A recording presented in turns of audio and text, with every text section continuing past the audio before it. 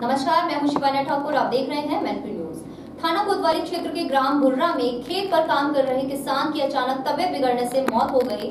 मौत की खबर सुनते ही परिवार में कोहराम मच गया तो वहीं सूचना पर पहुँची पुलिस ने शव को पोस्टमार्टम के लिए भेजा है। देखिए हमारे संवाददाता अभिषेक चौधरी कोतवाली थाना क्षेत्र के ग्राम बुर्रा में खेत पर काम कर रहे किसान की अचानक तबीयत बिगड़ जाने से उसकी मौत हो गई। मौत के कारण का पता लगाने के लिए उसे पोस्टमार्टम पर भेजा गया है। Bureau report, Mainpuri. थे खेत में दवाई मारने तो वहाँ से इनके पेट में दर्द कल लुटा है, अचानक चक्कर। आए वहाँ से, मैनपुरी, यहाँ से दवाई ले आके, दवाई लेके आराम नहीं मिला। जब आराम नहीं, जब इनको तुरंत ही एकदम फ़ोन की पलटी हुई है, दो, तीन, चार, पाँच पलटी हुई है।